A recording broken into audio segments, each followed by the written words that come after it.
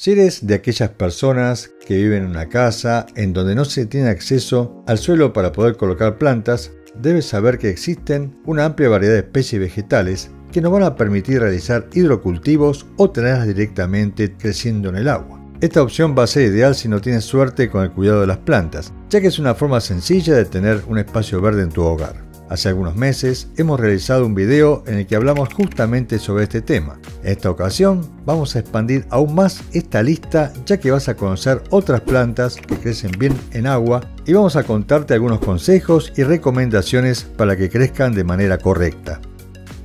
Si estás interesado en este contenido, nos podés ayudar dando me gusta, suscribiéndote y activando la campanita para estar al tanto de cuando subimos un nuevo e interesante video. Comenzamos esta interesante lista con una especie vegetal que ya la hemos nombrado en un anterior video. Se trata de la conocida como la planta del dinero, planta del dólar o hiedra sueca, una especie con ramas y hojas suculentas siempre verdes. Su nombre se debe a la creencia popular que proviene del sudeste de África que relaciona esta hierba con su buena fortuna. Sea verdad o no, no deja de ser una especie muy decorativa, con hojas circulares, brillantes y de bordes dentados. Es más, también produce una interesante inflorescencia, siendo pequeñas flores que crecen en un tallo floral de un color crema con manchas algo violáceas.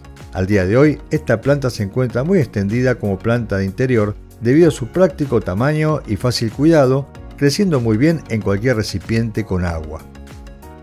Otra planta que puede crecer muy bien sobre el agua es la conocida por los nombres populares de cinta, mala madre, araña o lazo de amor, siendo nativa de Sudáfrica. Esta es una especie perenne y de gruesas raíces tuberosas, la cual va a formar una roseta central con hojas angostas y largas, siendo lanceoladas y midiendo hasta 40 centímetros de longitud. Estas hojas van a presentar un color verde claro, con unas franjas blancas amarillentas en el centro o en sus bordes. También le van a salir unos largos tallos que van a dar lugar a flores blancas y a nuevos brotes que vas a poder ir quitando y colocando en una maceta con agua. Una buena idea es ubicarlas en cocinas o baños, ya que van a absorber la humedad del lugar. Es más, también va a ser pet friendly, por lo que no vas a tener que preocuparte si tienes mascotas, aunque debes tener cuidado si tienes un gato.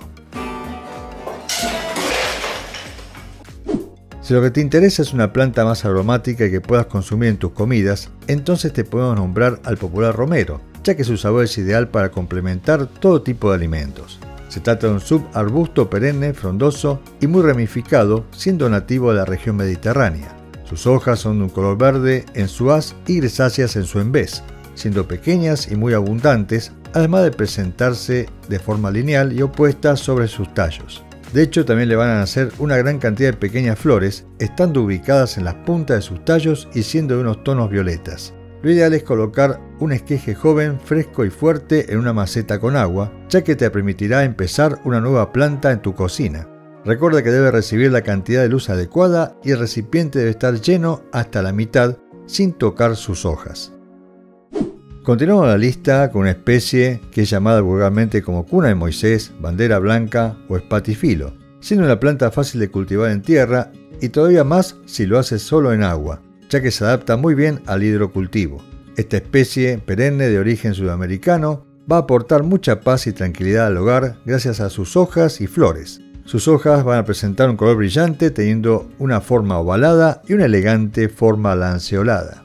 Por otro lado, lo que parecen ser sus grandes flores en realidad se trata de su espádice, siendo una hoja que se asemeja a una vela y que va a envolver a las semillas en forma de una manta, teniendo un color blanco crema.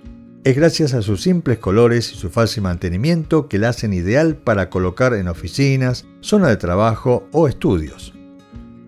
La siguiente planta también posee un nombre relacionado con la Biblia, ya que se la conoce como costilla de Adán o serimán, una especie trepadora que es endémica de las selvas tropicales. Si bien es muy común verla crecer en tierra, en una maceta, con sus hojas ocupando una gran cantidad de espacio, lo cierto es que también puede estar en agua, colocando un esqueje que incluye un trozo de tallo en un jarrón para que se vaya desarrollando en él. Con respecto a sus verdes y brillantes hojas, a medida que van creciendo, van a adoptar esa forma partida o agujereada como si de una costilla se tratasen. Eso sí, ten en cuenta que es una planta que va a necesitar mucha luz natural para que pueda desarrollarse de manera correcta, por lo que conviene colocarla cerca de una ventana o un lugar donde dé mucho el sol. Si nos dirigimos a las especies bulbosas, te podemos nombrar al narciso blanco o paperwhite, siendo originario del Mediterráneo. Esta planta es muy fácil de cultivar ya que puedes colocar su bulbo en un jarrón estando apoyado sobre un suelo de piedra o grava de forma que funcione como una especie de nivel para el agua. Es preferible que este jarrón disponga a cierta altura para que la planta tenga un lugar por donde pueda crecer sus erectos tallos sin problemas, aunque pueda hacerlo sin la necesidad de recurrir a este. Es en sus extremos donde va a dar lugar una gran cantidad de flores con pétalos de tonos blancos, además de unos estambres de color amarillo. Un dato interesante es que esta floración va a ser invernal, porque va a ser una buena opción para agregar color a esos días fríos de esta estación, ya que, además, va a estar presente durante todo el invierno.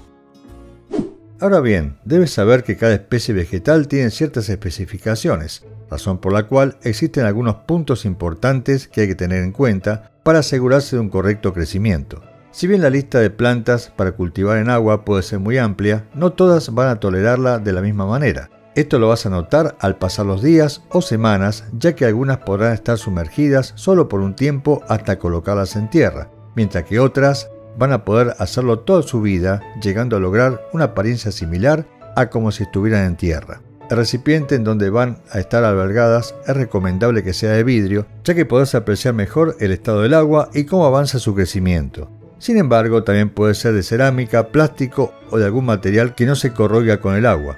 Es preferible que el agua no sea de grifo, ya que puede contener mucho cloro. Lo mejor es que sea mineralizada, ya que posee muchos más nutrientes. Eso sí, no es necesario cambiarla con tanta frecuencia, con realizarlo una vez al mes puede ser suficiente. Durante el verano debes rellenar el recipiente si ves que el agua se evapora, de la misma forma que hay que cambiarla si ésta se encuentra sucia o con larvas de mosquitos, evitando posibles insectos transmisores de enfermedades. Si bien la planta se va a encontrar en permanente contacto con el agua, solo lo deben hacer sus tallos y raíces, ya que, si lo hacen sus hojas o flores, pueden terminar pudriéndose. Es probable que algunas requieran un pequeño refuerzo, por lo que es recomendable realizar un ligero rociado en la parte superior de las hojas. Con respecto a sus raíces, procura que éstas tengan el espacio suficiente para crecer, aunque siempre podrás recurrir a dividir la planta o pasar a un recipiente más grande. Ahora bien, si hablamos del lugar en donde debe estar colocada, recuerda evitar las cercanías con la fuente de calor o la corriente de viento. Además, si la planta no tiene suficiente fuerza, siempre vas a poder recurrir a la aplicación de fertilizantes líquidos o sólidos, agregándole nutrientes al agua. Eso sí, si crees que te encuentras en un nivel más avanzado de cuidado de plantas de forma acuática, puedes ver algunos de nuestros videos en donde hablamos en profundidad sobre los interesantes métodos de hidroponía y aeroponía. El link lo podrás encontrar en la descripción de este video. Además, si quieres saber más en detalle de cómo hacer una correcta reproducción de plantas a partir de los esquejes, nos lo puede decir en la sección de comentarios de este video. Para finalizar, debes saber que este estilo de cultivo es una opción ideal para ornamentación, ya que a los recipientes en donde van a estar las plantas se le puede agregar todo tipo de objetos para darle un toque más original y estético. Esto va a provocar que visualmente sea más armónico y amable, siendo un pequeño espacio verde natural y necesario para el bienestar. Así que bueno, estas fueron algunas plantas que crecen en el agua y algunos importantes consejos. Si estás interesado en que hablemos sobre algún otro tema relacionado con las plantas, nos los puedes comentar.